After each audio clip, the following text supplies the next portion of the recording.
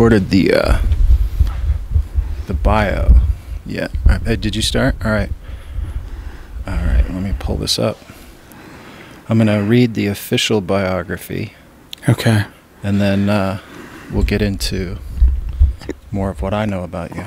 Okay. All right. So this is a unvarnished podcast. I'm Ryan Brown. We are at Anthony's Fine Art, Anthony's Antiques, Anthony's Fine Art. Yes to all of the above. of. Okay. Uh, with Micah Christensen, he is. Uh, I'm going to read the official biography here, and then uh, we'll get going. Micah earned his doctorate in the history of art uh, from Uni- University College London, where he traveled throughout Spain, Italy, France, and the United Kingdom to study how artists were trained in the 18th and 19th centuries. I'm, gonna, I'm excited to get into that, why you did that. He received his master's in fine art from Sotheby's Institute London. Then he worked with the founder of the Antiques Home Roadshow and other experts in London auction world. Micah has lectured at the British Library for the University of Cambridge. He is currently a partner of Anthony's Fine Art and Antiques in Salt Lake City. He continues to lecture, write, and consult with public institutions and private collectors. So, we met in 2005 when you were still in advertising. Yes. Yeah, what were Yes. you doing before you decided to jump into this world and the I was running away from the family business. Yeah. Yeah, I had uh, um, I'd grown up with my father being an antique and art dealer, and um, had worked there, mostly moving furniture and uh, and doing really hard work. Which you know now that I, I do more of desk work, I kind of miss that physical activity. Yeah. but uh, I I wanted to kind of make it on my own, and if uh, to make a long story short, I got a scholarship in vocal performance and opera, and then I went to college and realized that um, that may have not been the best way to support myself going forward. So the more practical angle was uh, was was business, and I.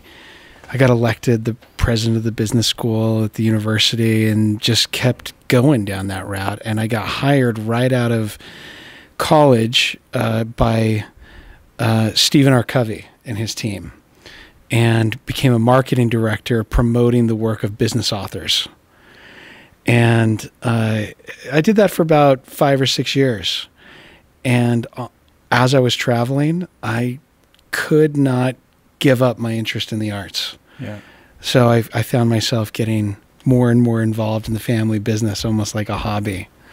And when you met me in 2005, I had, I, w- I was, I was just turning the corner and looking more towards the, the fine arts. I had mentors who kept pulling, pulling at my um, coat sleeves, like, uh, um, in addition to my father, Anthony Christensen, I had um, Vern Swanson, who is the man who had written the catalog raisonné on John William Godward and Lawrence Alma-Tadema, who uh, I'd known since I was a kid, and he kept saying, "Come on, come on over here and look at what I'm doing." So you you met me right at the right at that turning point. Yeah, it's um so you went I had no idea you were an opera singer. Well, I don't think I'd call myself that anymore, but I, I trained that way for for about a decade. Yeah, Wow. yeah. So you went from I think that's an interesting kind of route because and very common because you went from being in the arts, performing arts, having a passion for that, Mhm. which when, when you're in the arts, whether it's performing arts, singing, music, writing, it seems like there's a it develops a greater, uh, deeper appreciation for all of the arts. So Hmm. so and then you grew up with the, the antiques, the I mean the the kind of work you guys bring through here is so high level, brilliant. Um, so you grew Thank up with this, and then went the responsible route. Would you say the, practical route, yeah, the practical the putting route. bread on the table route. But you got really, really good at that as well, which is, um, you know, uncommon that you would have uh, an aptitude for both. And then, as happens, uh, I've seen it, you know, how many times.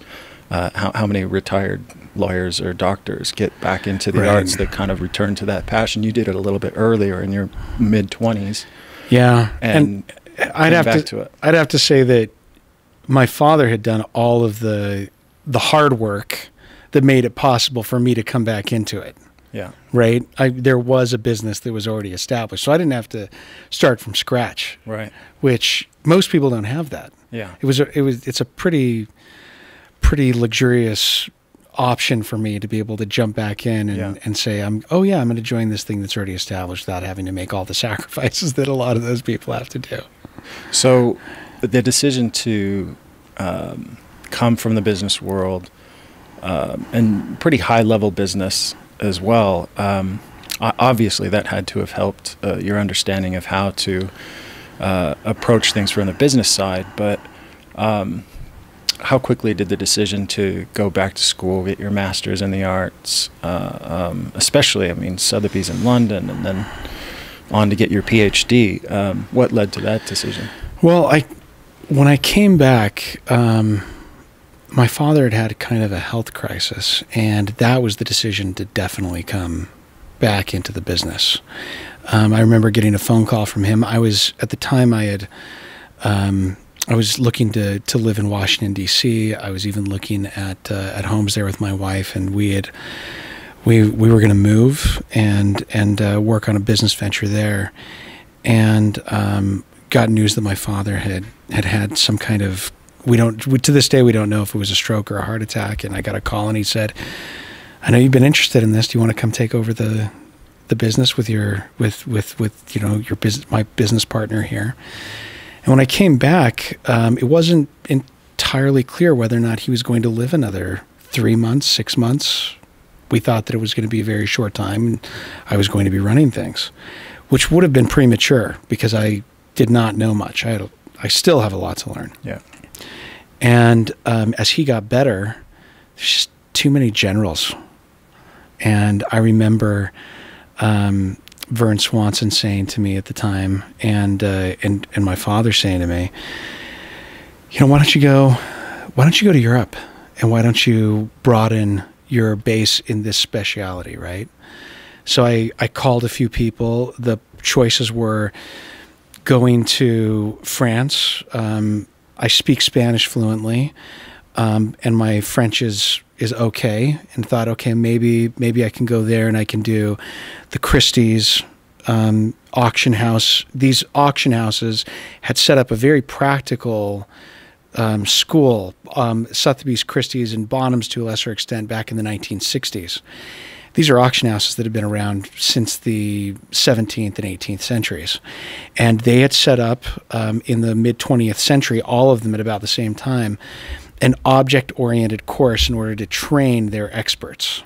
So you could go there and you would get a behind the scenes not only at the auction house, but you would go to royal collections, major museums, and you would be handling the objects and not having conversations like a lot of other art historians do about the social history of things. That was part of it a little bit, but you'd actually, you know, you'd take apart um, Marie Antoinette's furniture and you'd have discussions about how it was put together and how to tell the difference between it and a forgery Yeah. it was a very practical education for the kind of business that we had, which at the time was 80% furniture, mostly European. We were bringing things from across uh, from from across the pond and selling them here, but and all over the world. And I wanted a technical education. Yeah. So, uh, in choosing between those different schools, Sotheby's seemed the best option.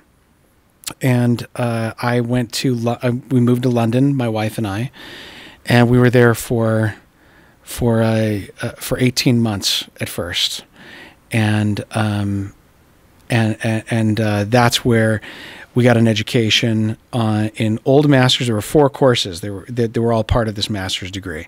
It was uh, uh, uh, furniture and decorative arts was one. Two was old masters. Three was contemporary works of art, and then four was ceramics. And then you'd have to choose and gravitate towards whatever you were gravitating towards. You'd have to commit to writing a book length thesis on one subject. And I wanted to focus on how artists were trained Um, and I'd happened to go on vacation while I was in London to Madrid, and because I spoke Spanish, and I walked into the the office of the director of the Prado, and I said, "Hey, I, I, I don't see many people writing about what the Spanish did. Can I write about it?" And he kind of gave me the keys to the kingdom, and Yeah. I wrote my master's. I used Sorolla, Joaquin Sorolla, as my example of how artists were trained in Spain.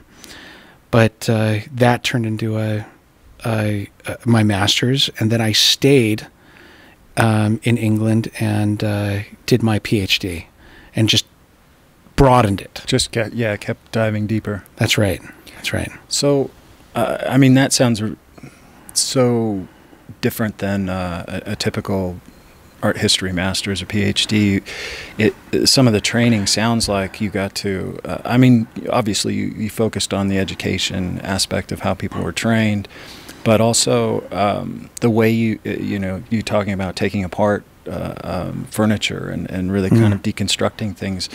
Uh, sounds like you're getting a, a, pretty deep practical uh, understanding of the craft of these arts as well, which is I, I've found to be somewhat uncommon um, among art historians. I know uh, you, you knew Gerald Ackerman, Yes, very well. and, Uh, I know he went to the Florence Academy and actually studied the Bargue course when he was That's right. uh, coming into writing it. And uh, that kind of effort uh, and deep dive by art historians is, uh, I feel like, gives you uh, an edge on everyone else. It, it gives you such an understanding of not just the art, the social context, the historical context, but how it was made, why it was made that way. Um, which, as an artist, is important. Would be important for me for somebody to understand if they were going to talk about it.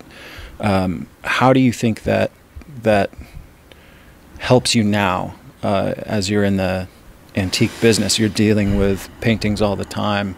Uh, I mean, you just pulled out a painting and said, "Who do you think did this?" And you're you're you're reverse engineering it almost to to not only fit it in place, but take it from a technical aspect and say, "Who could have done this?" right. And I feel like you understand that, um, you know, better than than most art historians. I well, I appreciate that, and I think it's something you're always learning. That's something that I've noticed from from people who I admire, my father foremost, but other people like Jerry Ackerman, and Vern Swanson, and uh, Peter Nahum who is the expert on Edward Burne-Jones. A lot of the people who were I saw as my mentors were people who were worried about this this skill that became devalued in art history, which is connoisseurship. It was the ability to look at a work of art and try and understand the skills and the craftsmanship that went into making it. And what art history mostly became over time was a history of personalities and of social history Right. and and I'm not saying that that isn't legitimate. It just it just was the difference between me going into a. Um, I remember what I did my master's at um, at Sotheby's, which was what they called an object oriented course, and you would you would go into a room after having ten lectures on Ming ceramics and um, you would go to the greatest Ming collections in Europe, and then they would bring you into a room and they would p- place five objects in front of you and say, "One of these is not a real Ming. Why? Which one and why?" And you'd be graded on your ability to kind of break down the ability to to to, to think of things in terms of actually looking at the object. Then when I did my PhD, I, I I went to I was accepted to Oxford and Cambridge and the University of Bristol and also to the Courtauld, who are all great schools. But when it comes to doing your PhD, especially in the UK, your job is it's a pure research degree. You have to produce 180 to 100,000 words, which if you think of the first Harry Potter book, I think it was something like 14 or 15,000 words.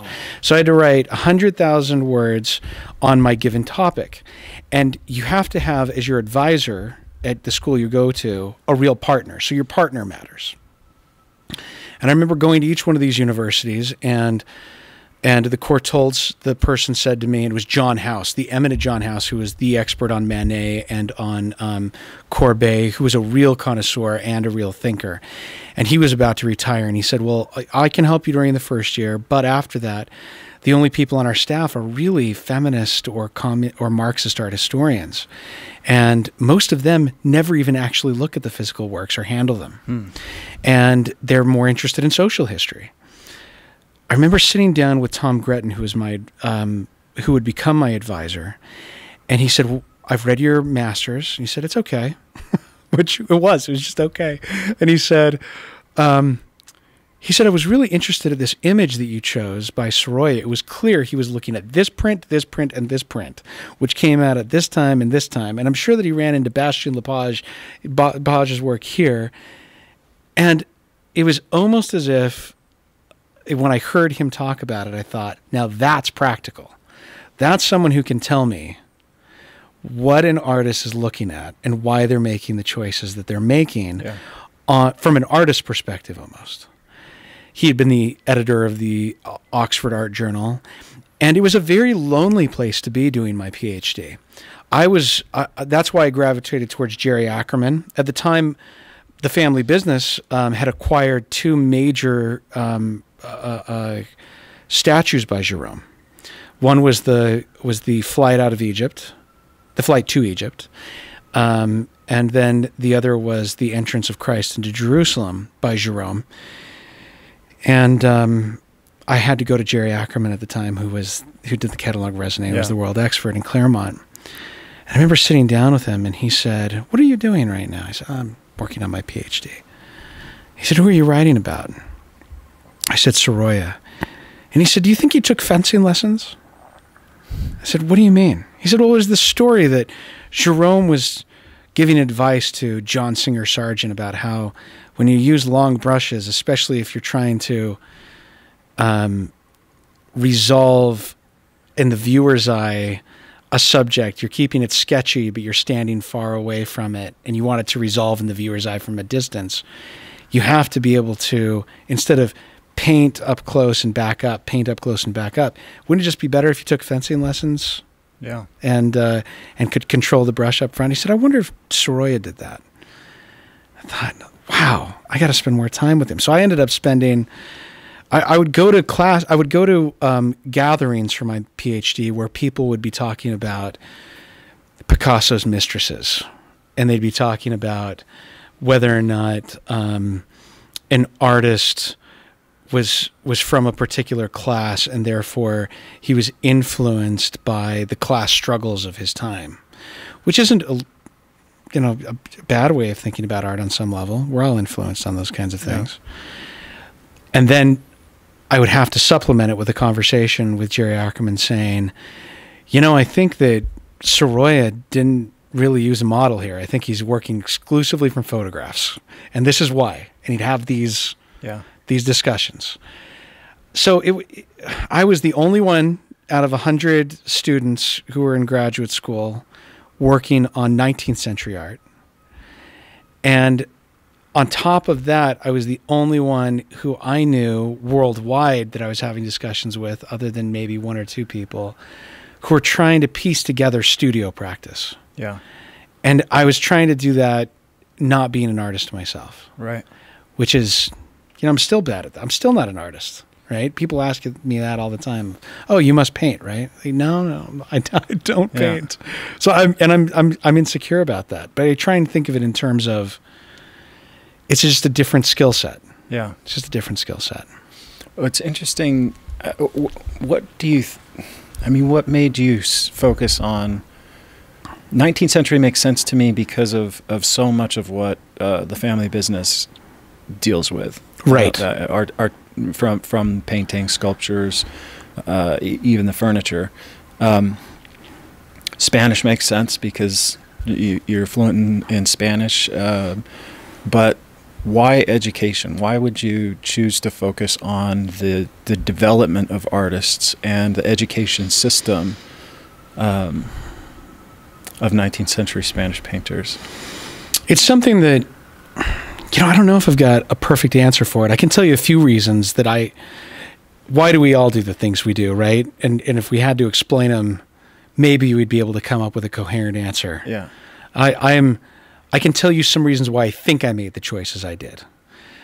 First of all, family business. I grew up in my home um, because my father was a collector long even before he started being a dealer. He had he had a collection of works by William Merritt Chase and and uh, by by uh, I remember we had a Thomas Moran and we had other works Wow. by by by artists that were uh, they were significant pieces. We had um, we had um, Eastman Johnson works in our home, and and and so I I think when you grow up with quality and a certain kind of art artwork, you you want to know more about it. One, Yeah. right? So so there was that piece.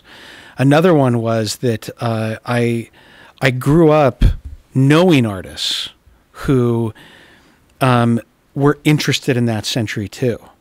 So growing up, I knew people like uh, Michael Coleman was a friend of the family. Yeah. And Michael Coleman, even though he's a Western artist who's mostly dealing with landscape, he had a real love of 19th century artists. And when you'd go into his home, he had Italian watercolors from the 1880s Yeah. that seemed to me to be the most magical and exotic. And even now, when I look at 18th century, I said 1880s watercolors by those who were in Rome, you think, oh my gosh, Yeah. how did they achieve this? Um, uh, and I, th- I think that his collection, more than even his art, was something that spurred an interest in me. But growing up in in uh, in Utah, uh, and you know this too from being in this region, because of the religious element and a kind of patronage and interest in figurative art, there was a group of people who were looking at at religious art from the 19th century. They weren't usually doing their good good versions of it, but they were at least reaching for it. Sure. And so there was a there was a an interest I'd say here more than even most places in the world for for how did how did those artists do that? And my father was out there buying it. He was buying works by um, Tissot, by we had a, a, a great John Singer Sargent of a, of a crucifixion scene, and we had a number of other works that that were by second or third tier 19th century artists, but they were first tier works by those artists. Yeah. And I got to know about the vocabulary of the salon through it. And then I would run into people like Jerry Ackerman or or um, uh, Vern Swanson, and they had done most of their work in the 70s and 80s. And so when I got to do my masters, I remember thinking, oh, geez, like all the biggies have been taken. The John Singer Sargent's been taken, and and uh, Bouguereau's been taken, and I don't I don't want to focus on, I don't want to rehash Right. the work that other people. I want to discover someone, Yeah, kind of right? open the door to somebody else. and and you find that that's kind of egotistical way to look at the art world because then you think of yourself as an art historian as owning an artist which is you can't do that right and that's that's a false premise for art history anyway it's i'm going to be famous off by being a parasite on the back of an Yeah. artist right Well, you could also say I'm I'm opening a world that hasn't been opened yet. I'm Right. diving deeper into somebody that's important rather. So I'm sure there was there was that uh, and, and pure intent there I think there well. there was, and I remember being on the on the panel of a of a. I was on the panel of an art renewal cent, art renewal center salon um, discussion that happened at the Salmagundi Club. It was me. It was Jacob Collins, Vern Swanson, and um, oh, um, Ross, Fred Ross. Fred Ross Yeah. and and uh, you know I'm not going to say anything that's going to offend Fred Ross. It's very hard to offend Fred Ross. and Fred Ross got up and he kind of gave his his uh, his version, which was which was Vern's version of the 19th century had the greatest artists who ever existed on the face of the planet, and and damn those modernists, Yeah. right? Yeah. who destroyed destroyed an entire tradition of art. And and that was the argument I grew up with, and I think a lot of us grew up with it. It's kind of the Fox News angle on uh, on on uh, on the history of art. And I um, remember reading French in the art uh, uh, art the French Academy in the 19th century Right, by Albert, Albert Boime Yeah. or Boime, depending on even people who knew him didn't have a consistent pronunciation of his name. And um, and I remember that there was this real um, the the the fad among 19th century art historians when I was in London was this what I feel like is a false dichotomy between modernism and traditionalism, and and uh, liberalism is trying to destroy conservatism. And it it's it was just a very weird contemporary way of looking at the world. But what to me felt like was not being discussed was actual skill set Yeah. that had been lost through through the through the loss of the academy and we can get back to this at another time but i think the really my my current theory is that the people who really destroyed the academy were zorn sargent sorolla and those people who felt like that they didn't learn anything from the academy that they were geniuses and they couldn't you couldn't teach what they knew and so they weren't going to teach people what they knew Yeah. and so it wasn't it wasn't so much that somebody said to them what you have isn't worth learning it was more like well what i have you can't be taught i'm a Yeah. genius Yeah. and um, and so that's another argument for another discussion, um, or potentially later in this discussion. But I I remember going to Spain and seeing these works that had not been really on view for hundred years in Spain. They had been they were monumental figurative works by artists whose names that most people won't remember, and they were the people who taught Sorolla. They were um, Juana la Loca by Pradilla.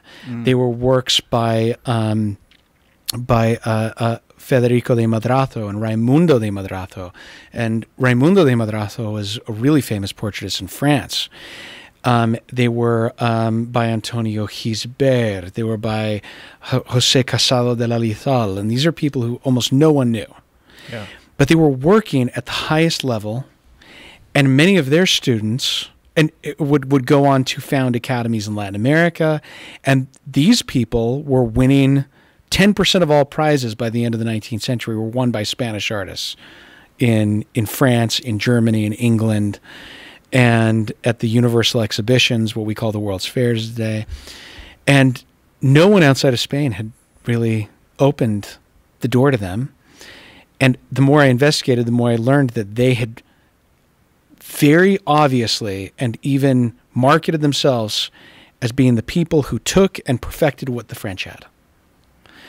And I thought to myself, and this is when I went into the I, I went into the office of the director of the Prado at the time, and I said, I think there's a story to be told here. I think that uh, um, there are a lot of people who want to know how to paint like people did in the 19th century, and the Yeah. Spanish seem to have systematized that in a way that other people hadn't. Hmm. I'd like to study that. And he said, I think you're right, and uh, I'll help you, and I'll open up our resources to you. And um, I went and pitched it back to my people uh, in uh, in London, and they said, "Great, you don't have to show up here to class. Spend all the time you want." I spent almost every weekend in Spain Wow. and and uh, I probably traveled over the period that period forty times to Spain in a period of of uh, of two years, and I was basically living in Madrid and Valencia, and was traveling um, elsewhere, and I was going through the classroom grading grades and daily lesson materials of of uh, of, of Sorolla um, had a color study, and this is what his teacher said was the best right way to do it. And his teacher had studied with um, uh, his teacher. His teacher had studied with Delaroche and Ingres, and he would say. This is how Ingres would have taught it. This is how Delaroche would have taught it. This is how Madrazo taught it. And you're doing it wrong, and this is the right way to do it. Wow. And so you would you would see almost directly this this practice of this is the way that they taught them that they taught their students was the right and the wrong way to do it. Yeah. The difference between that and looking at French materials at the same time was that the French didn't say much because it was so ingrained, it was so subconscious a lot of what Yeah. was being taught at the time that it didn't need to be said. Hmm. So you'd go into a French classroom and it was just understood that this is the right way and the wrong way. Yeah. And occasionally you'd get very helpful notes to an to if an alien had shown up in France it would have been more confusing. Yeah. In Spain it was less confusing. It doesn't mean they were doing better work. The clarity of their conversations Yeah. about why they were making the choices they were making. And back to your original question. Why did I choose classroom practice? I was interested in Sorolla because I liked his work, like a lot of people did, and I wanted to know where he came from. And I remember um, this was during my master's degree, very beginning of my master's degree. And Peter Trippi at Fine Art Connoisseur magazine, who's involved in a lot of other things. At the time, he was also the director of the um, Middle Eastern Collection Museum. It'll come to me. Anyway, he was uh, he was doing a piece on um, Antonio Lopez Garcia, and he said, "I understand you're in Spain a lot." And we knew each other, and I'd written a review of some exhibition in Spain for him. And he said, "Can you be my interpreter for Antonio Lopez Garcia?" And I said, "Are you kidding me?" so "I'd be happy to be the interpreter." So we go to the studio, and um, there's that that um, that quince tree that he had done. The have you ever seen El Sol Membrillo? Yeah, yeah, yeah. The I don't know what they call it in English, but it's the it's the the sun on the quince tree in in uh, in Spanish, and we're in the courtyard where he did it, and and he says, "Come into my studio," and we sat down, and Peter Trippi had his questions, and in between um, breaks for this interview, um, I noticed on his wall he had he had three images on his studio wall pinned up. He had one, which is the porch of the Acropolis.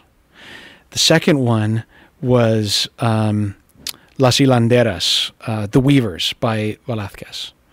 And then the third was Christina's World by, by Wyeth. Yeah.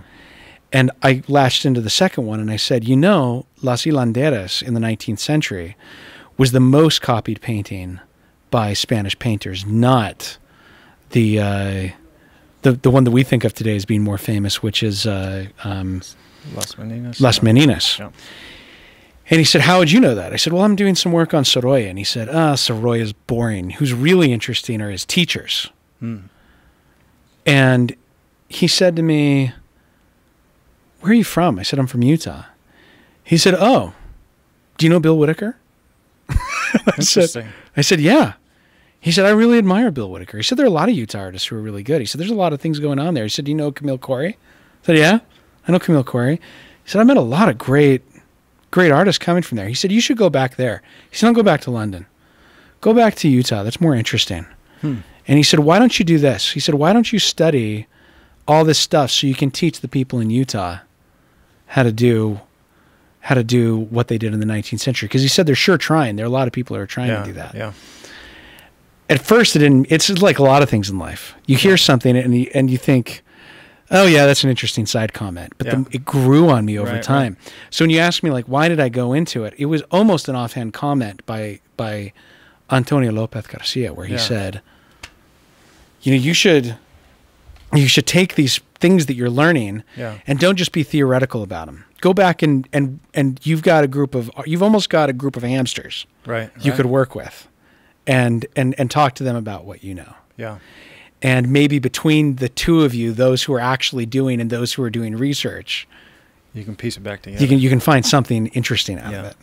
Well, I know when we first met, um, uh, my memory of it, it anyway, is uh, I was teaching and you came up to my studio and you wanted to take some drawing lessons initially. Yes. Uh, so, so I think there was a, there had to be some interest in, in at least understanding the background of it, understanding the craft of it. But um, And it- that's tr- and that's true. I didn't have any interest in actually becoming a great artist. I had no belief that I'd be a great artist. yeah, It was more trying to see as an artist sees. yeah, yeah. Um, and like Jerry Ackerman did, it just I, I think that gives a, in a perspective that uh, I, don't, I don't think you can you can get otherwise. No. Just uh, getting your hands dirty and, and learning how to um, how to break something down and problem solve really gives an insight into how the artists were creating what they're creating. Yeah. So on on that note, I'm gonna, if you can indulge me, I want to kind of um, share a, a, an idea I have now um, that's just kind of hit me recently, um, and then we'll get back to everything yeah. else. Um, so I, have always been interested in um, multi-figure narrative painting. I, I love Alma Tadema, Waterhouse, uh, uh, Gérôme. These are kind of my gods, Bastien Lepage, and um, everybody we've been talking about. Um, But mine too. Um, I, I, feel like uh, you know I went to the Florence Academy. Uh, when I came back to Utah, I thought you know this basic education doesn't exist anywhere. I didn't get it in the university. Uh, very common narrative these days, and and um, and the basic essentials of drawing and painting is what I got at the Florence Academy. And so, coming home, started the Masters Academy of Art, and uh, wanted to pass these um, these skills on um, for a couple of reasons. One, because I couldn't believe it wasn't here, uh, and two, uh, uh because I I felt like I needed to create um, a, a, community around me that um, knew the essentials so that we could kind of as a group together um, continue moving forward and developing and, and piecing back this information that allows us to, to produce work at the same level of craft as the 19th century. I don't think any of us are trying to recreate the 19th century, but we see something in the level of, uh, of expertise and execution that we want to emulate. So, um, you know that that was kind of the motivation to start the school. But the more I'm in it, the more I'm um, realizing the the severe drawbacks of current academies, and uh, I think one of the major uh, drawbacks that I see today is the focus, the community focus on the the end goal, and the end goal almost seems now to be uh, centered on just highly rendered student exercises. You know, if I can get you to do a shadow box still life, uh, you know, in a really beautifully rendered way, you have the skills, spread your wings, go for it. Uh, if you can do a really good single portrait on a dark background, you're set. You're, you're good. And the academies end there. Uh, they don't talk about composition. They don't talk about design. They don't talk about narrative, and and I think that the average student typically is going to adopt whatever the general community is uh, centered on in, in, their thinking and philosophy, which means that for a decade after graduation, people are still doing shadow box still lifes. They're still doing single uh, um, portraits, and they're amazing. But um, it feels very much like we're praising good handwriting at this point.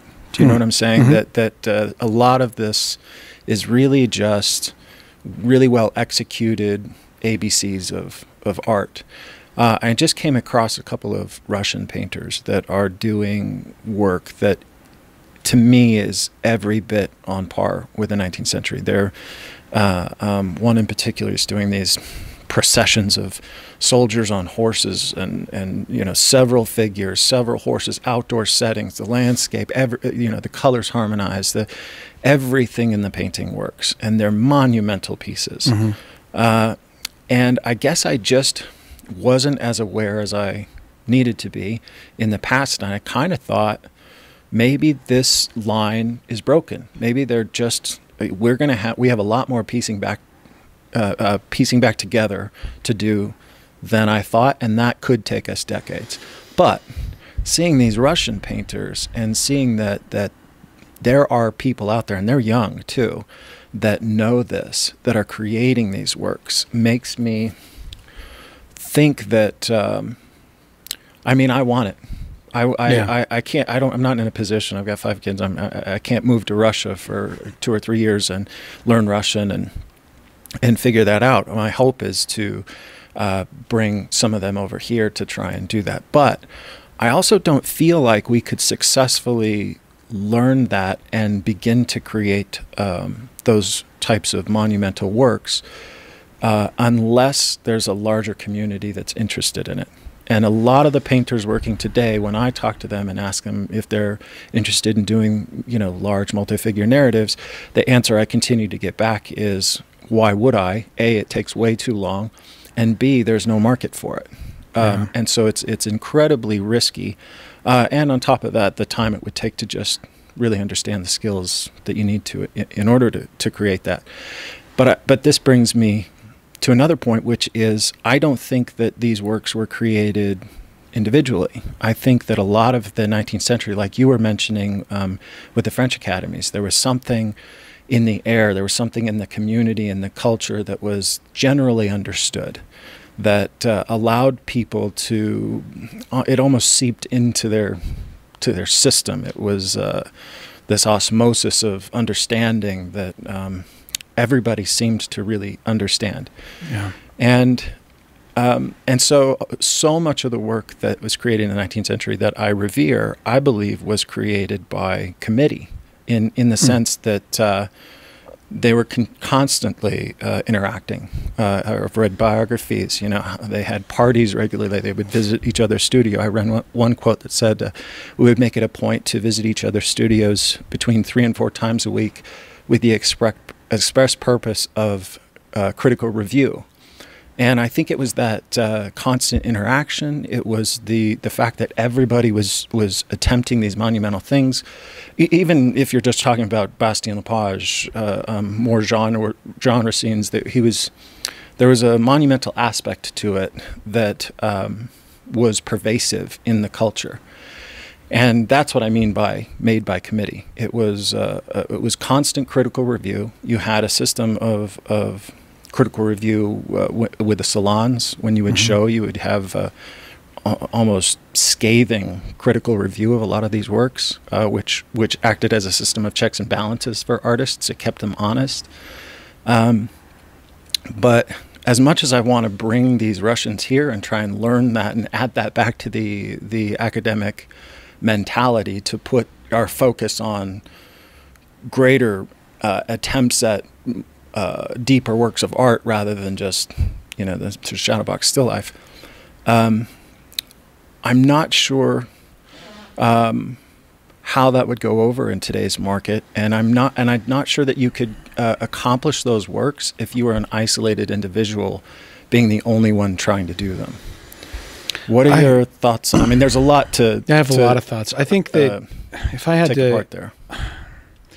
Okay, so two thoughts. One is the market is a rear view mirror. And second of all, we inherit the aspirations and anxieties of whoever are our heroes. So the first one of a rear view mirror. One of my clients that I've known since I was a kid my, is uh, John Warnock, the founder of Adobe. He invented the personal printer, invited, invented Photoshop, he invented Illustrator, basically created out of nothing billions of dollars in annual revenue from everything from graphic designers to you know everything right Yeah. that were that were our modern world works on and he i remember one time listening to a lecture where he said that he was at research park xerox's uh, uh, research park and um, he was describing photoshop to someone and um, and they asked to, do a, a focus group so they did a focus group and the focus group didn't see any need for it and he said, of course they didn't because they needed to be shown what was great Right. and what it could do. They can only understand things that they've seen before. It's a rear view mirror. Focus Yeah. groups are a rear view mirror. And I think that the same is true with art, is that on some level, people don't know what they want until you show them what they want Yeah. and and um, this this idea that um, people don't want multi-figure, or don't want this or don't want that. Whenever I hear when an artist says to me, "Well, what's selling?" My reaction is things that are good, Yeah. right? And I'm not- also things that are available. that are available, right? Yeah. And I'm not going to. And I, I, I was working with an art. Uh, I have an artist that I represent named Walter Rane, and Walter Rane has um, he he trained under the kind of Cal Art School in in California, that were the the famous artist school was basically their incubator. People like Norman Rockwell, and, and it was the illustrator world, right? And he was going to have his career as an illustrator, which he did up until the 1990s when Illustrator and um, Photoshop ruined the market for him. Yeah. And he was doing um, novel covers and magazine covers and And uh, he sent me a group of works that was everywhere from still lifes to multifigural religious works to uh, portraits that he sent me to, to sell for his latest show. And he apologized. He said, I'm so sorry. I just realized that there wasn't really a connection between all these things I sent you. I said, I don't, I don't care. I said, you're, I said, I believe in you and what you're making. And as long as it's good, I can take people wherever you're going. Yeah. I'm not going to tell you put a Native American in it or a beautiful woman. I'm going to I'm just going to take whatever you send me because it's good. I think there are very few dealers or artists who think in those terms, and I think Right. it's something that there's a reason for why they don't think in those terms because there, there is a reality of some people do want certain things Yeah. right? But but there there also needs to be a force that's pulling us towards the visionary. Right? So that's the first point. The second point I made, which is we inherit the aspirations and anxieties of what we're what we're after. Uh, I had a conversation with um, the director of the Arcadia Gallery recently, Stephen. We were, I whenever I'm in California where I've got a condo, we'll we'll we'll sit down and talk. And um, he was telling me that anytime someone who's even a great artist who's recently graduated from one of the current ateliers comes to him with their work, he can tell immediately because they've all got the same Right. look. And he says, I tell them, come back to me in five years when you figured out who you are. Right. Right. Right. And um, boy, can you imagine being told that as an artist? Yes. You probably have been told that, right? Because that's a, that's a hard thing. If you know, go out, which is another way of saying be original, which Right. is, God, how do you like on the count of three be original? Right. And It's an almost impossible thing to ask of somebody. And I said to him that I felt like um, almost everybody who had graduated from these ateliers, whether it's the the, the the the the Grand Central Academy, Michelangelo's Academy, the Florence Academy, all the academies that we have, we seemed, you know, there. This is me as an art historian putting on my art historian hat. There was a split um, during the turn of the century, where there there was a in America in particular, um, there was a break between the fine artists and the illustrators, and there was a group who went with Wyeth and with Howard Pyle and decided that illustration was one thing, and then there were those who went with Ives Gammell and decided that fine art was another thing Yeah. right? And Ives Gammell taught Lack, Right. and Lack became the grandfather of all the current ateliers, Yeah. including those in Europe, Right. right? And those guys inherited an anti illustrator mindset, which means that you're anti multi-figural work Interesting. for yeah. the most part, right?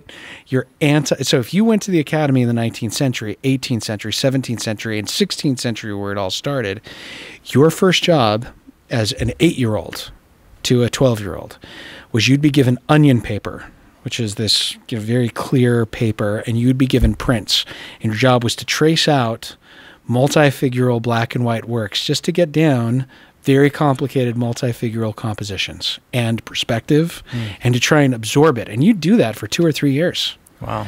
And then after that, you were given isolated cast, or even concurrently, even uh, concurrently with that, you were given isolated casts.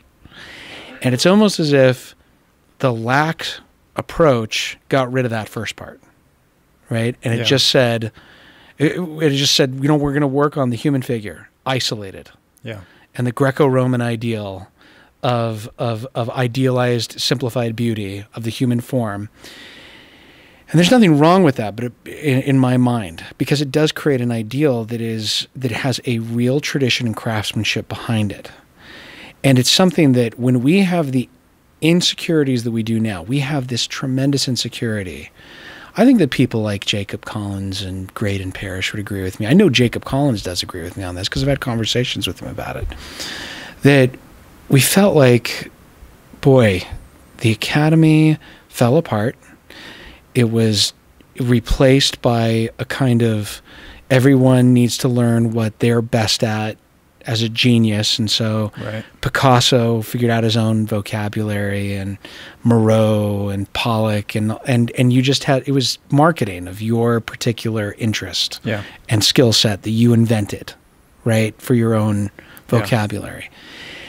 And and so when he wanted to learn to do things, he would start copying artists that he liked, and he discovered that as a late teen. And then he really got serious about it maybe in his 20s. Mm-hmm. And boy, then he learned that he learned that that Jacques Louis David and Ingres were learning the things that he had learned in his 20s in their teens. You're right, right. And they had mastered them, quote unquote, in their 20s when he was and he felt like he was only beginning to understand them in his 40s. Yeah, Right?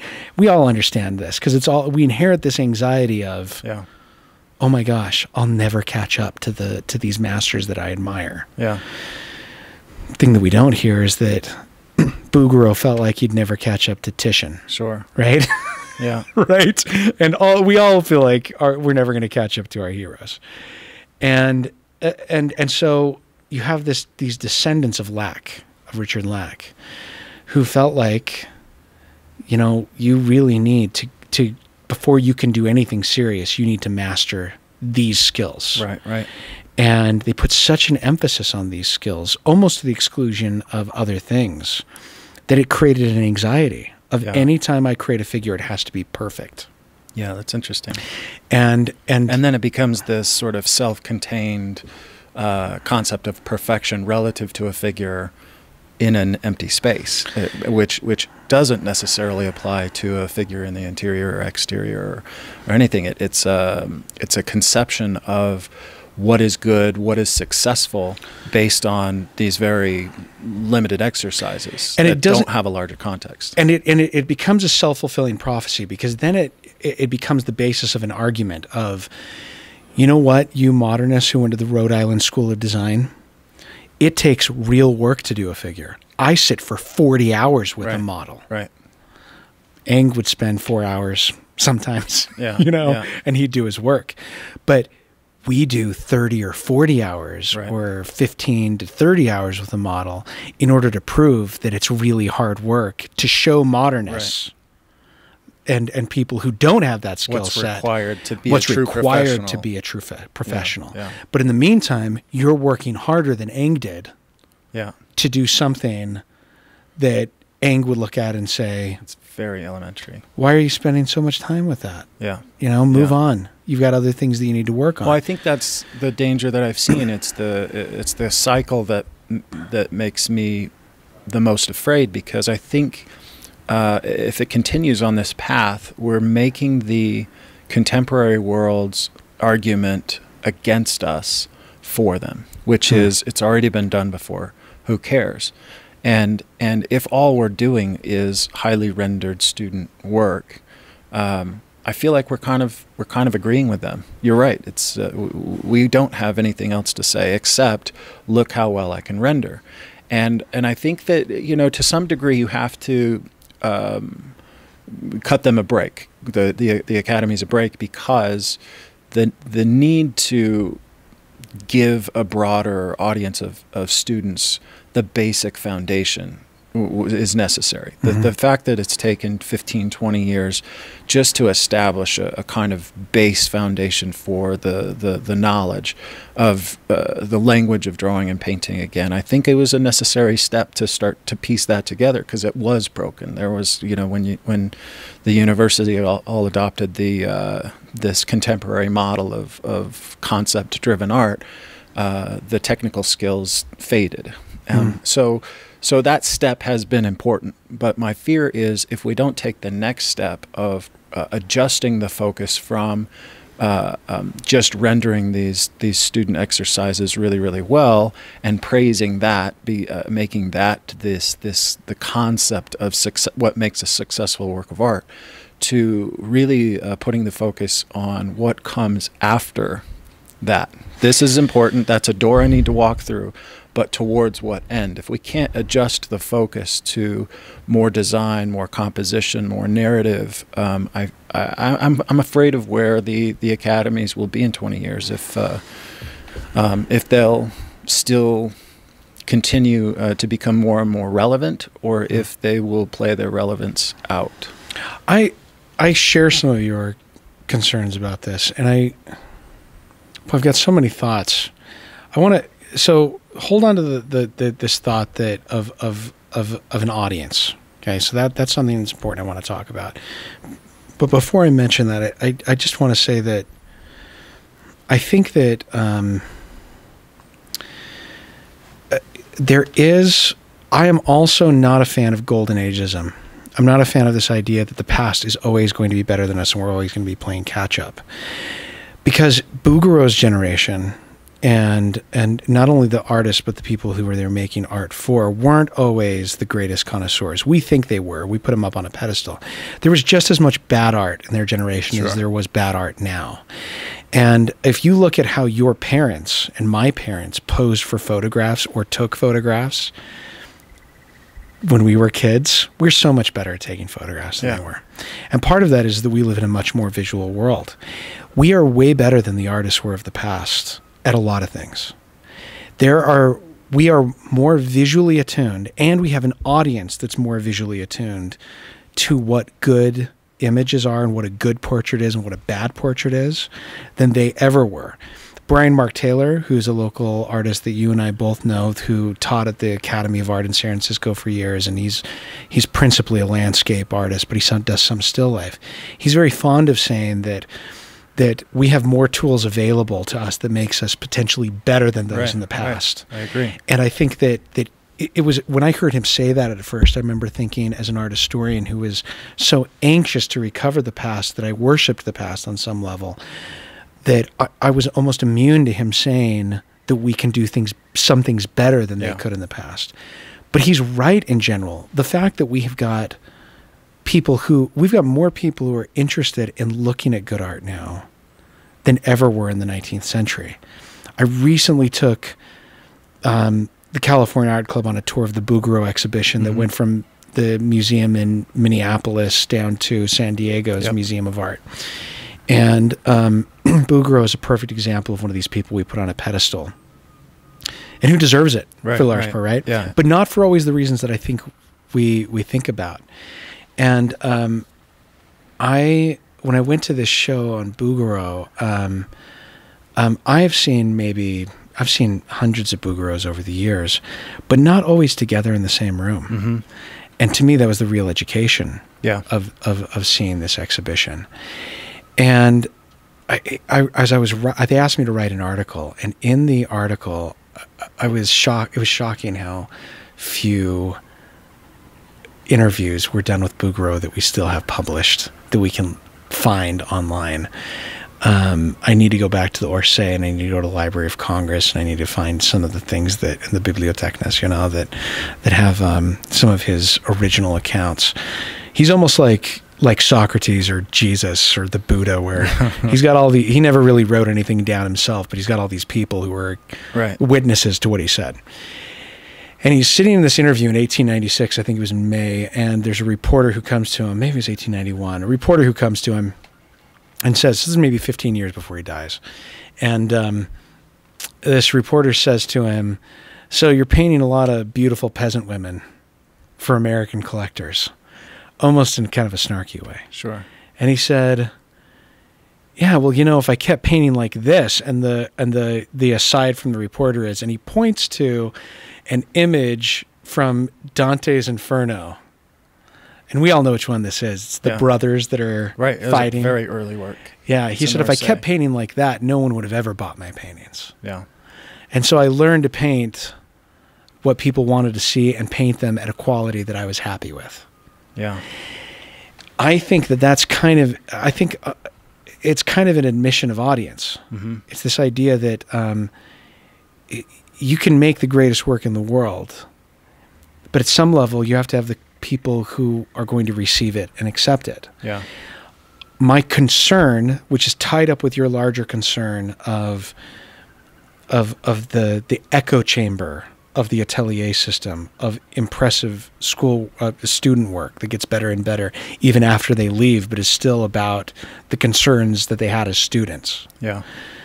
If I'm phrasing that in a way that I think I think Sure. we can both agree that, Yeah. that that that maybe that's a rephrasing of what you're Mhm. saying, is that it's also an admission that for the past hundred years and even before then, um, modernism and this is where I would agree with with Verne and and and Fred Ross and a lot of the critics of modernism taught people that you can't look at a work of art and say whether or not it's good or bad. You have to be told Mm. whether it's good or bad. You're going to show up in front of a Rothko, and your first instinct potentially is going to be, "What the hell is this?" Right. Right? And why is it so amazing? My three-year-old could have done this. Yeah. But then you have to have a high priest who comes along right. and says to you in their black clad modernist art historian uniform, maybe a poet's hat on top of that, and says to you, This is why he was a genius. Right. And you don't understand it because you're dumb, and I will make you understand why it's great.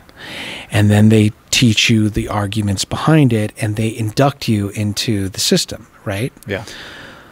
Well, what happens when you are raised for a hundred years in that system? I was raised in that. You were raised in that. And then you're shown Washington crossing the Delaware. Right. Your job is not to think about it. Your job is to find who can tell you why it's great, Yeah. right? And your job to when you look at a Bouguereau, maybe your instinct is to initially like it. But you're you're suspicious of the fact that you like it. Right? Because you've been taught to be suspicious of Right. your reasons for liking something. You've got to be taught the real reasons for liking something. Yeah. Right?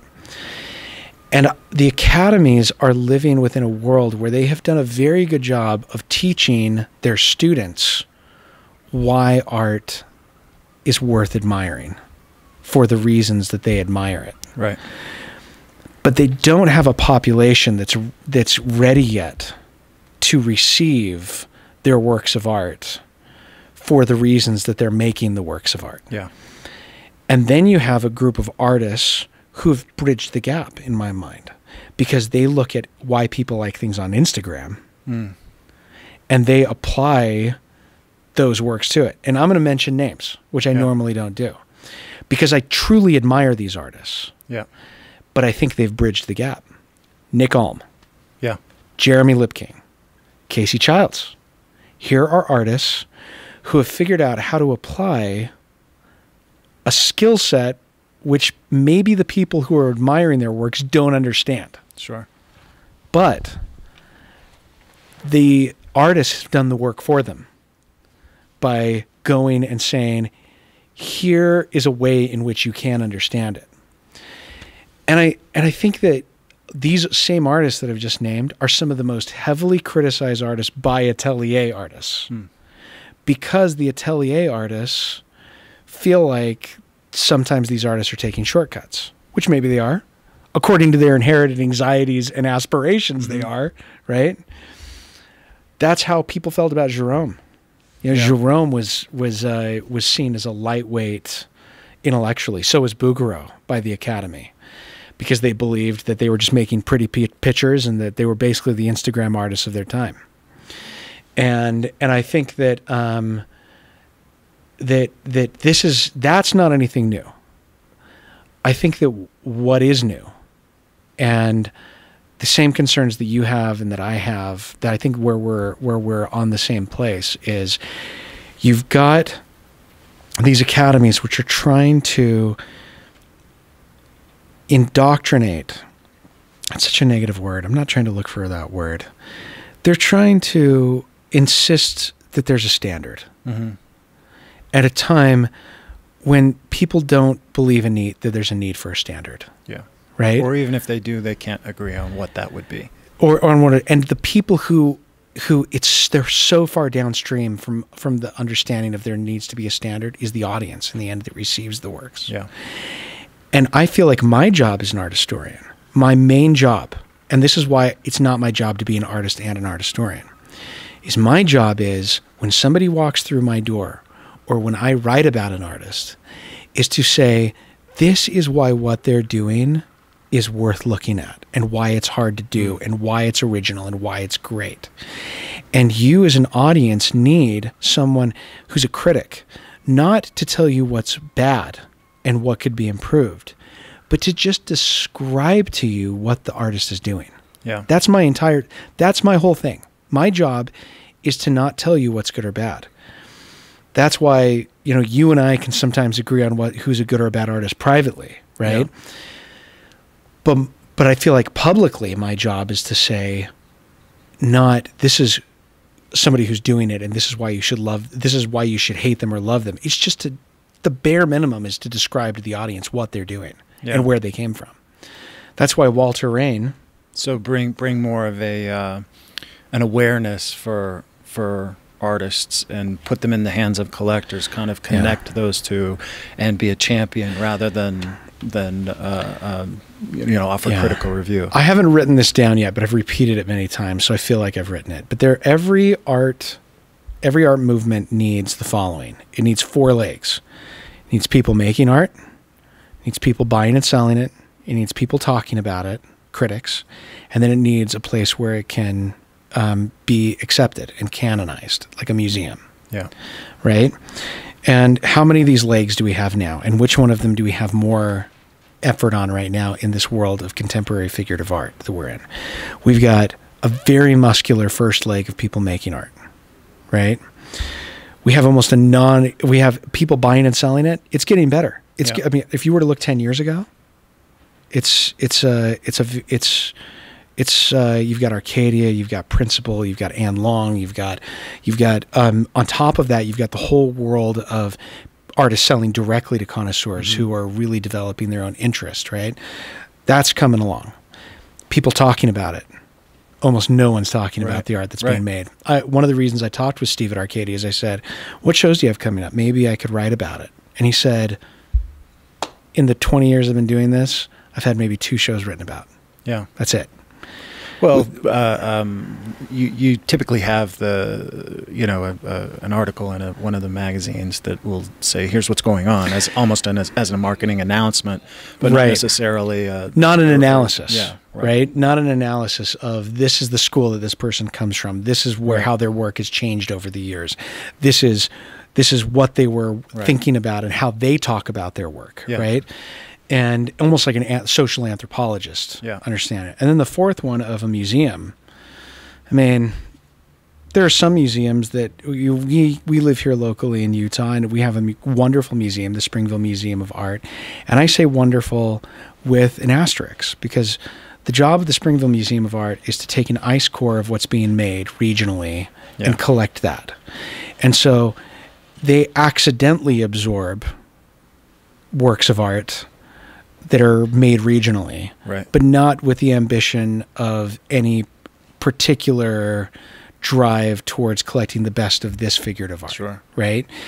And so there are very few museums that are that are um, that are in the world that are collecting things with the deliberate drive of this is the best of the best. Yeah. There are museums that are collecting this is regionally what's going on, Yeah. or this is thematically what's going Right. on. I'm interested in LGBTQ art. I'm Sure. interested in feminist art. I'm interested in communist art. I'm interested in this art. Yeah. You get those, right? Um, religious art as being one. Yeah. But you rarely get people museums that are actually collecting for those. And so until you really get um, an ecosystem like this happened in the 19th century of your and my ideal probably, which is you have a contest where 20,000 artists from around the world who are at top of their game are all submitting to the salon in Paris. Yeah. And then, it, then out of those, 800, 500 works get shown that are the best out of those 20,000. And then you get, if you show up at the door, um, 50 potential critical pamphlets that are all written that you can choose from. And you can tour the show reading Zola's or the Goncourt Brothers Yeah. or Géricault's, um, uh, not Géricault's, um, um, you, you have different interpretations of what they have to, of, of what are written and and then one one gets picked up and somebody says, "You know what? That's a really good multi-figural work. Why don't we blow that up to 10 times its size and put it in the municipal building?" And so we're going to commission you to do that, right? Yeah. And and then um, you know, a museum accepts it. Right? I mean, Yeah. this is and it gets judged by a peer by a group of peers on top of in in in addition to all that. Yeah. We are very far away from that Right. we may never get it again right? It may never happen again. That is that was a pre-movie television world. Television and movies getting it right now, Yeah. right? They're getting it. And I I don't know I don't know how I it, I feel like right now um if we had to compare it to a different world, I would say that can you imagine being a French chef in the 1950s right as TV dinners are becoming really popular, right? And then and then you're thinking nobody wants to come to school anymore, Yeah. right? No one wants to come lear- learn at the Cordon Bleu. And then that student student who's still holding open the doors at the Cordon Bleu um, hears that Anthony Bourdain is walking around and going to food carts. Yeah.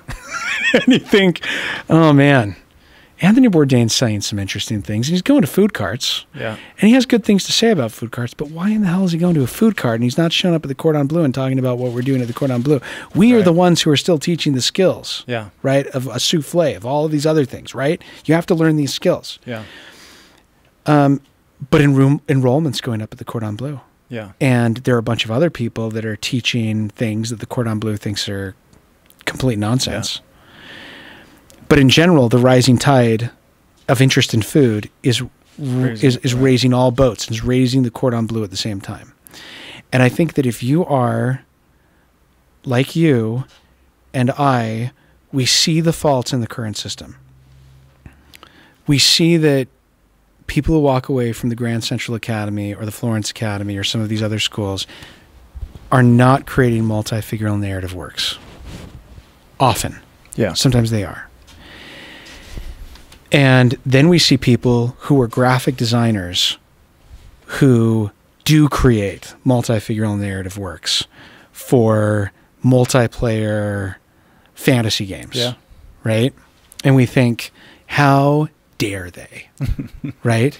Or they're missing out on this, or they're missing out on that. Yeah. It's not an unfair criticism that they're missing out on those things. And they desperately want to be part of your club, too, right? And they never will be, Yeah. possibly.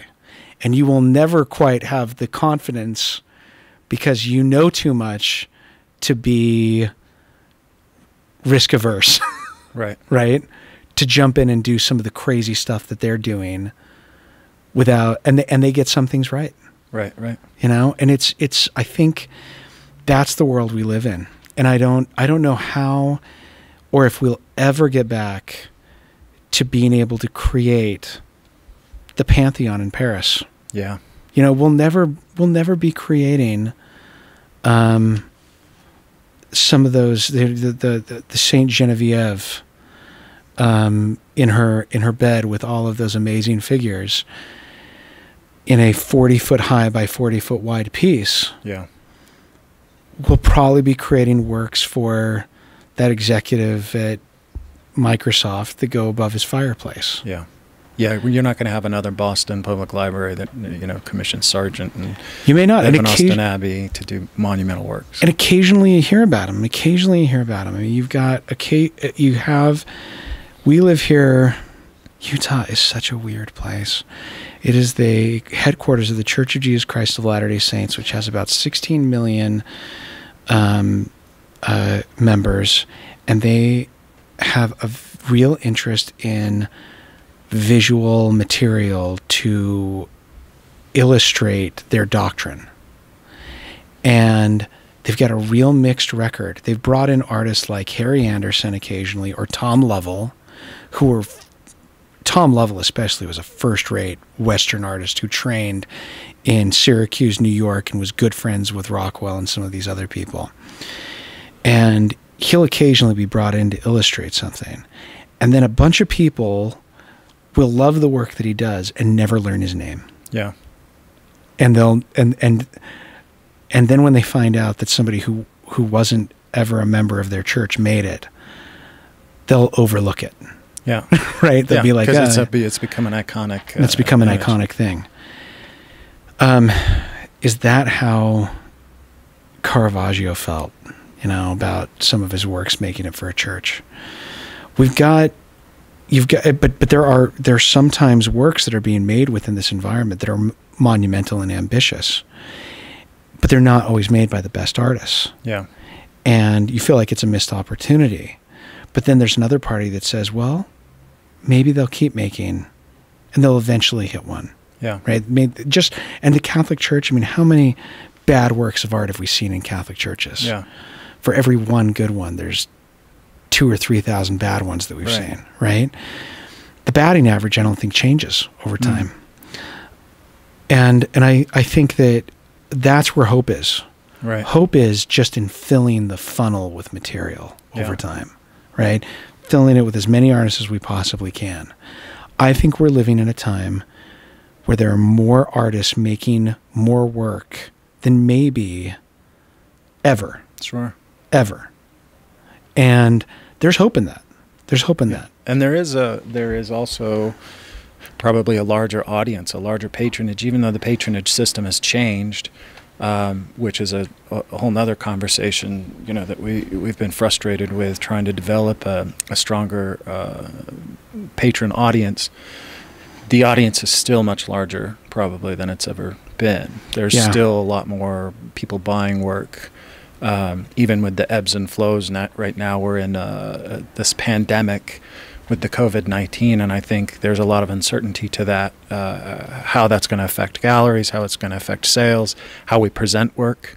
Yeah. Um, I'm sure you've seen it with the gallery here. Mhm. Um, I mean, you, you have to shut down that. Um, uh, the drop-ins and the uh, the the walk-through traffic Mhm. uh, is, is almost non-existent. I know the galleries that I'm in, winter was their main season. You know, you get into February, March, that's their strongest part of the season, and now you know everything's shut down. So, Yeah. how we present work, how this is going to um, affect it, is is really uncertain. But at the same time, the positive takeaway is that there's still a buying audience, and and Yeah. they are still buying, even if they might, you know, have it on pause for a second. I think uh, there, there's still a, a, a pretty large audience that still appreciates this work.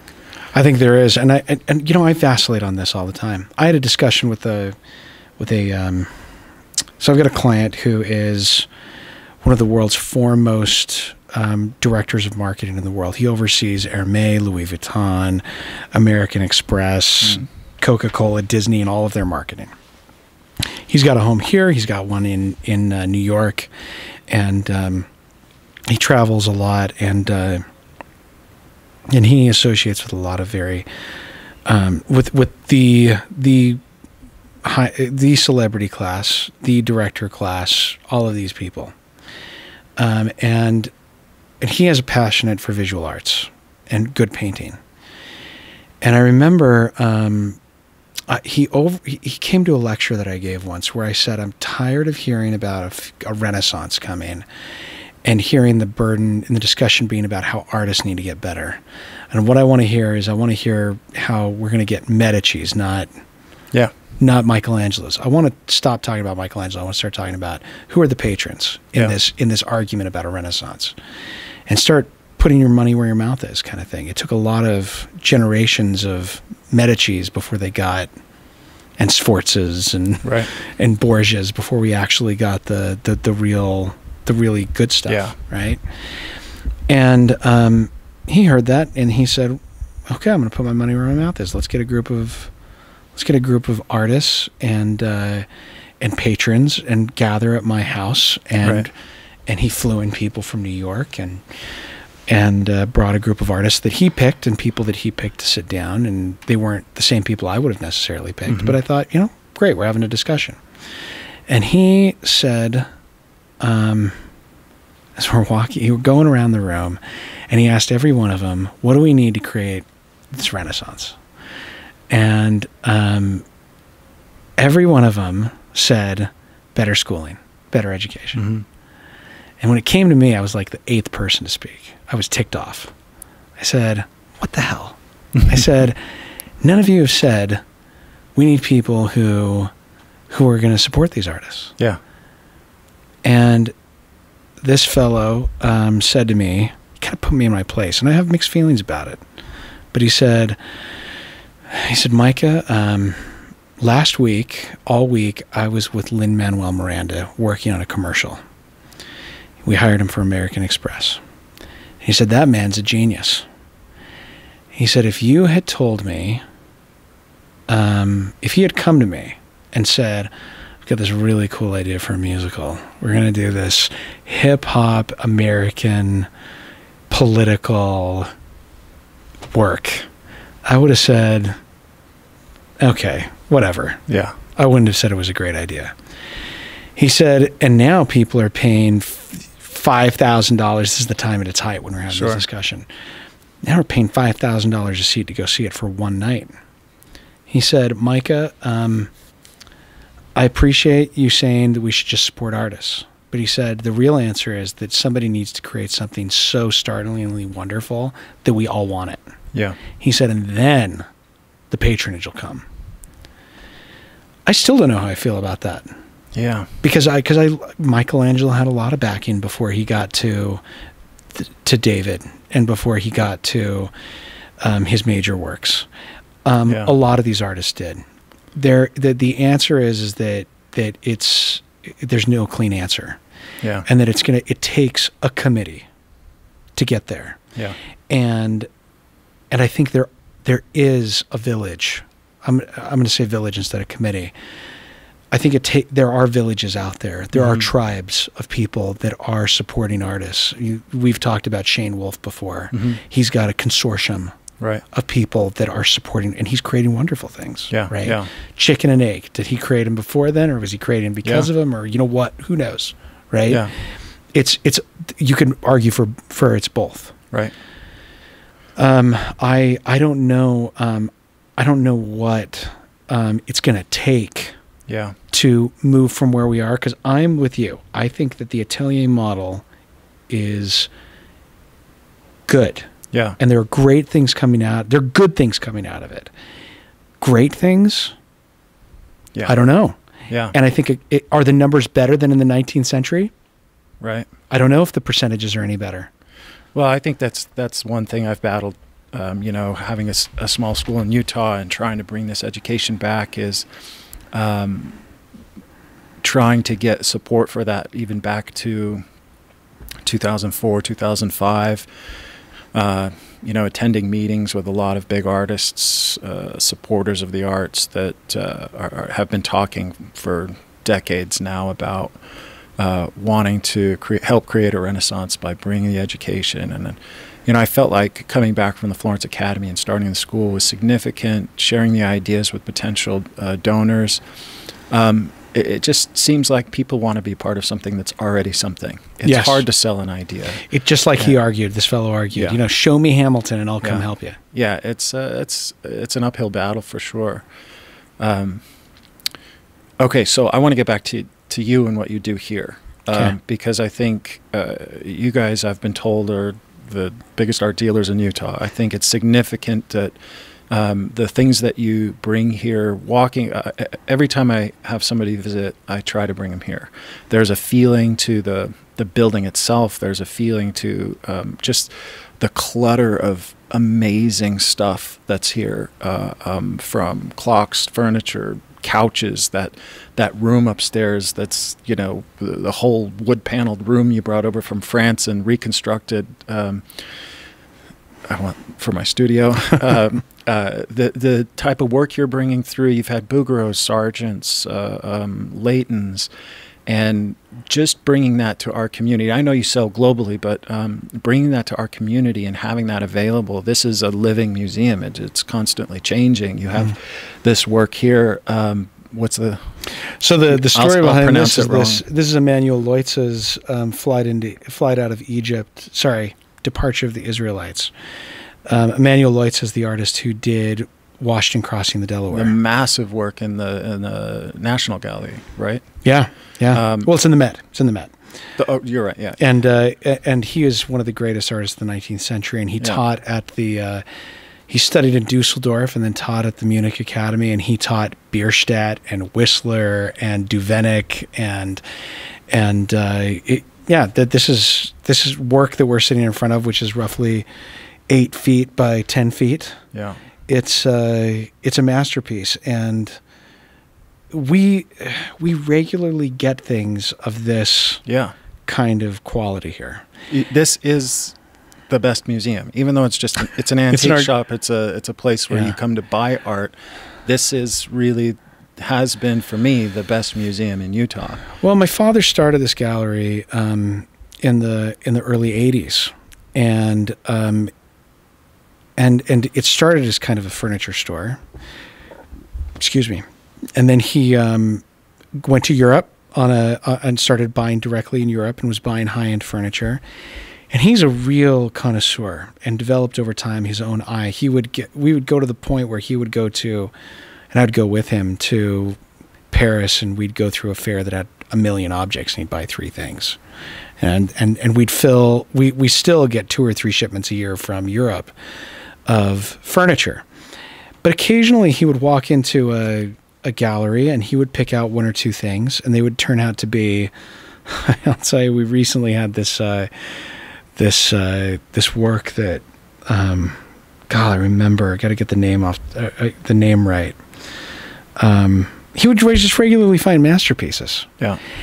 and um, it'll come to me in a minute. I've got so many stories that I could share of works that he found that they were unattributed, and then we were able to find out. For Yeah. one, in, one for instance, is there was this minor sale that took place back east in Philadelphia. The Catholic Church was being sued for sexual abuse um, controver- uh, uh, a case that had been brought against them, and the Catholic Church, um, the diocese in Philadelphia, decided to sell off a lot of its uh, uh, of, of of its buildings, and they hired it's like a a firm that that worked on real estate auctions hmm.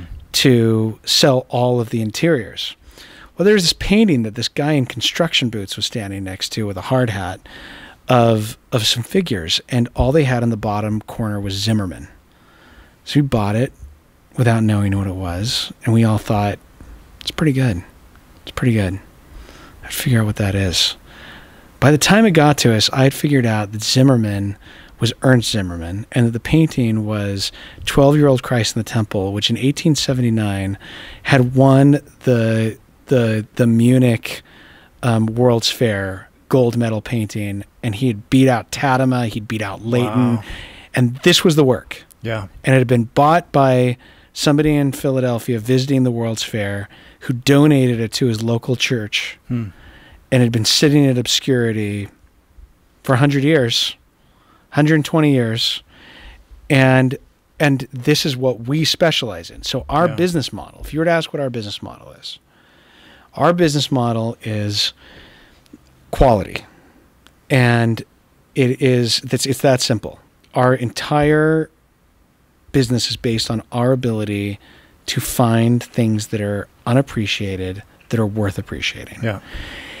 I spend maybe 70% of my time looking at auctions, sales, contacting people, and trying to find things that auction houses miss because I know this because I went to the the uh, the, the the the Sotheby's and I have friends who went to Christie's and to some of these other schools. They were taught mostly that the way an auction house makes money is by finding the most important 100 names in the art world, contemporary and past. Picasso, Banksy, Damien Hirst, Yeah. Tracey Emin, whatever it is, you name it, and Koons, and find those those works and sell them to oligarchs, Right. Right. right? Which means that over the past twenty or thirty years, as their model has changed, the real connoisseurs who taught me and who taught us, um, who had sometimes worked at these auction houses for um, 30 or 40 years and had seen millions of objects and could really understand quality are being replaced by people who work at Sotheby's, Christie's, and Bonhams for five years to get it on their resume and then start a contemporary gallery. And I I can go toe to toe with almost anybody at Sotheby's and Christie's, and I can see something they've missed Yeah. they'll mislabel things in their that come to their auction house. They they don't understand something's been offered to them that they didn't understand and they don't have the time or energy or understanding to do the research and find out what it is and then put it up for sale for what it is. They only focus on the lowest hanging fruit. Right. So we try and find something that's maybe a little more difficult. Yeah. And our main goal is to find it and uh, and and then try and send it to the best destination. Yeah. So that Zimmerman ended up in a museum, and there were two museums interested in it: a local museum that was interested in it for its religious content, and then a museum in Munich that was interested in it because its connection to Munich. Right. And the local museum won. Hmm. Um, right now, if you were to look around where we're standing, we've got this Emanuel Leutze. That was the work he did for his Prix de Rome essentially, his graduation from the academy.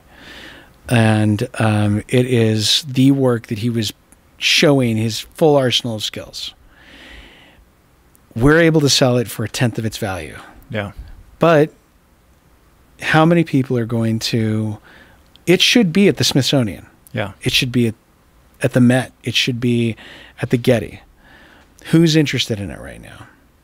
Few universities, hmm potentially the Museum of the Bible because of its content, right? Yeah.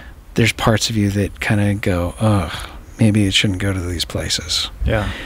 Across from me, across from there is another work that's uh, by um, Thomas Locke. It is a 27 foot high window by 16 foot wide of uh, that was done by a student of John Lafarge, who basically taught Tiffany how to do windows. Hmm.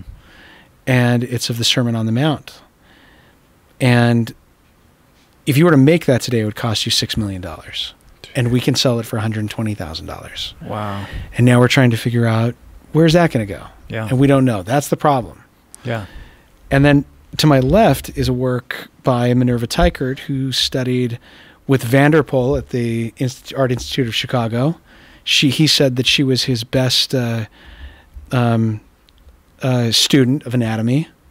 You wouldn't know necessarily looking at this because she decided that that wasn't the most important Yeah. aspect of her work. She often sacrifices um, anatomy for gesture Mhm. and composition. And then she studied with Robert Henri, and Robert Henri told her to come back to the West to paint the story of her people. And this is a painting of Captain Bonneville trading with the Native Americans and trappers in northern Utah. And it is seven feet by 10 feet. And it should go into a museum. Yeah. So here I'm surrounded by three masterpieces. Oh, and, and over on the other side, I've got a work by Charles Haigh-Wood, who was a student of of uh, uh, of Burne-Jones, and uh, he was he studied at the uh, at the uh, um, uh, um, at the Beaux Arts Academy in Paris as well. And it's a it's a portrait of T.S. Eliot's wife, um, Who was his daughter? Who is who is Charles Haigh-Wood's daughter, Yeah. Vivienne Haigh-Wood. And I'm looking at you look around these things, I'm surrounded by them every day, and every one of them is a little quirky. Yeah, because they're well, not you a have a portrait by Robert Henri upstairs still. Robert Henri, Uh, I've do got you still have the Bouguereau? I do. uh, I have Bouguereau study for the? Nymphs and Satyr. And they're not you know, they're not um, home runs in the sense that if they were all Picasso's mistresses, Yeah. they'd be flying out the door, right? Right. But but I'm I'm not in that business. If I were in the Picasso mistress painting business, um, I wouldn't be able to have the diversity of things I do. I would be Yeah. in a 20 foot long, five foot wide gallery in downtown London, Paris, Barcelona, um, New York, Yeah. and I would be only dealing in those works, and I'd only be talking to people who are interested in works for investment purposes for the most part Right. Right? But here I get to I have to have a very broad range of skills. I don't know if I told you that a few weeks ago I bought one of the most important Japanese Netsuke collections that has come up on the market in the past 50 years. And Japanese Netsuke are little carvings often in ivory or fruit wood. And you know they're going back to Virginia to be sold hmm. because we don't have the audience for them Yeah. here. And I spent the past three weeks killing myself to try and. I've seen lots of Netsuke carvings over the years. I've learned more about them over the past three weeks than I knew that than most people ever learn in their lifetime. Yeah. But when we saw them, we didn't know how important they were.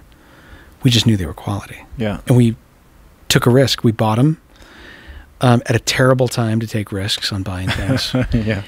And that that is that is I think more than anything what I've learned in this business from my father, which is quality is what's important, and you have to step up and pay for quality when you see it, and trust that you will be able to teach people what it is. Yeah. And he is, if anything, and this is something I'm learning to be a good teacher. Yeah. You have to be able to bring in somebody because this is the world we live in. Utah is a weird place to be selling this, but it doesn't matter because I have been in London. There are just as many stupid people in London who d- only buy things because they think that it makes them look good Yeah. as there are here. And there are just as many connoisseurs here as there are anywhere else in the world. Hmm. 70% of our clients are out of state or around the world. Yeah. And we're constantly teaching people Yeah. why something's important. Yeah, and I think that's what makes this place and what you do such a a treasure, at least for me. Um, over the years, this is the this is the mecca of where I'm going to come to to be inspired. Uh, it means a Um, lot that you'd say that. Yeah, I, I mean the the intuition that you guys have, not you know, added to the education, the understanding, but the intuitive sense of quality is is impeccable, and uh, I'm I'm always amazed coming in at the c- the consistency of what you have to show. I mean, it's it's painful to visit because I can't leave with s- with stuff all the time. Oh, that's how I just, feel um, too. uh, uh, to be surrounded by it, um, even for a moment, is um, it's why I would come to Salt Lake. I would take a special trip for. Um, that means a lot. And you, you were, and you're like me that occasionally we get crumbs, right? yeah. Crumbs fall off the table of this place. yeah, That you know, I'm I'm kind of a cobbler who can't afford shoes, yeah, right? yeah, I can't afford having this Leutze in my house. yeah, I don't have a house for it. And there's something selfish about having this in my house Yeah, if I were yeah. able to have it, right? But occasionally I'll get a drawing by a Henri or I'll get Right, this right. or that, right? And and those are the and and you just feel you feel like and this is something I've learned from my father that the best you can be is a steward. is a steward, right? Your a job is to be a steward and a custodian of other people's Yeah. talents. And your job isn't to your job is to is you know the history of art is is not of the people who owned the pieces usually. But those people were key to the work's survival over time. And the best you can hope for in our business is to be the person who just shepherds it on a little to the next generation Right. and who raises its status a little bit by making sure that whoever gets it next is informed about what Yeah. it is. Yeah, has a greater appreciation based on a deeper understanding of where it came Yeah. from, what it, its purpose was, and and so that uh, I I don't want to keep you too long. I could talk to you all day, um, but how do you how have you because recently in the last few years you've started also showing living artists, which Yeah. is not something you had done uh, much in the past. Um, as you're describing value uh, for uh, a 19th century work of art, 18th century work of art with, with something like this. You can talk about its uh, provenance. You can talk about the artist who created it, where they came from, who, who they studied with. Um, there's so many points of, of um, in, in your description of it that give it value. How do you um, how do you see presenting something like that versus living artists? How do you um, how do you prescribe value? Because for me, I look at uh, say like the portrait of T.S. Eliot wife, and I think uh, I would give anything for that. Um, but I have a connection to other living artists. I walk upstairs and see the living artists. Some, you know, I have some paintings here as well, and and um, um, to me, there's a familiarity of it because Yeah. I know these people that makes it less valuable than the 19th century because there's almost a mystique uh, with the history of it.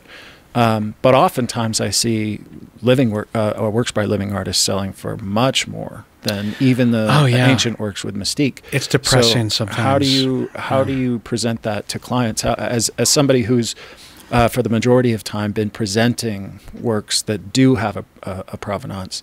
How do you then um, present works by living artists? How do you talk about it differently? I'll tell you, that's a it's a really good question, and it's something that I am still trying to figure out, and I'm not entirely happy with it.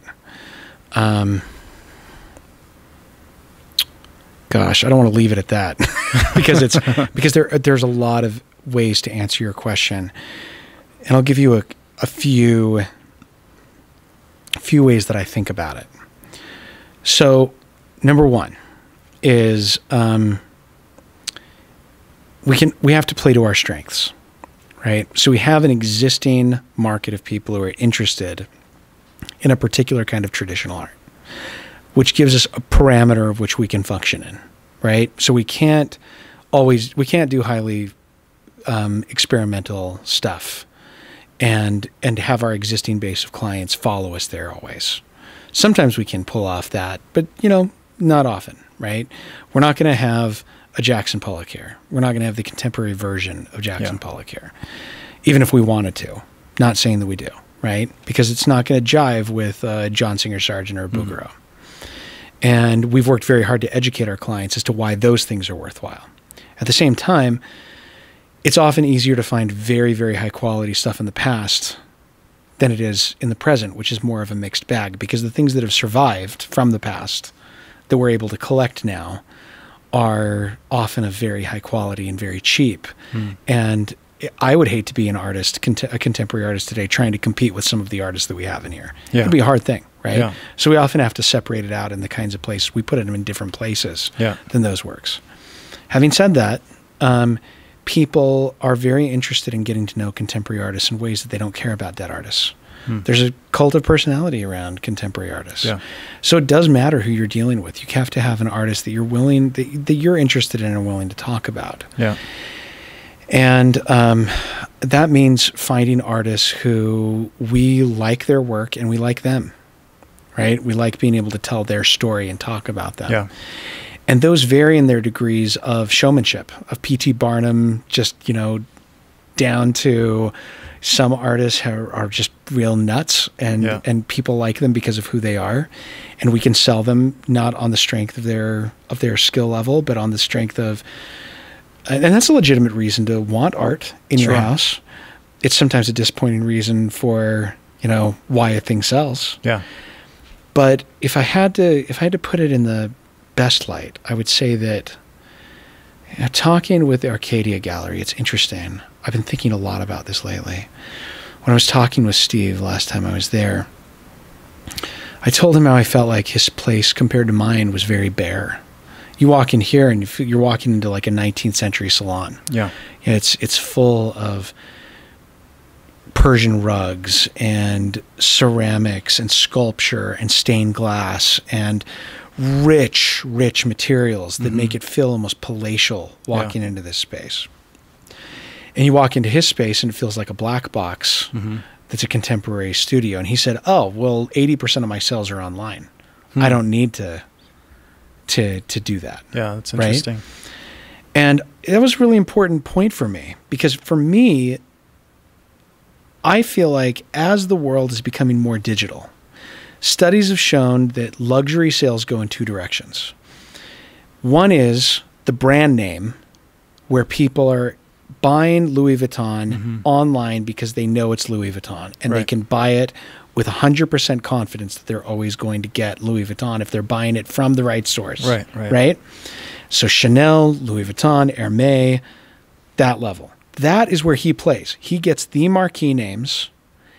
People don't need to come in person Yeah. and hang out because they know that what they're getting is the highest quality. Mm-hmm.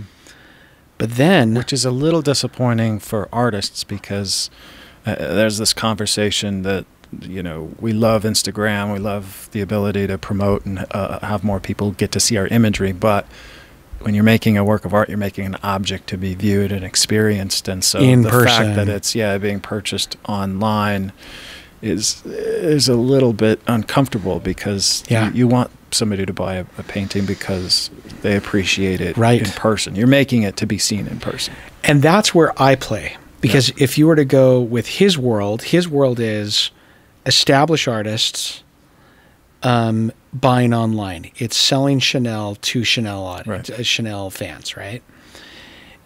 And th- there's another part of what's happening in the in the online world, which is the more people are buying things online, their necessities, they want an actual experience with some places, and my place fills that need. The wealthy of the wealthy come in here because they can't. They come in here for an experience. They want to be educated. They want to be. They want to see things they've never seen before, things that they didn't know existed. Mm-hmm. My job is to be a cave of wonders. Yeah.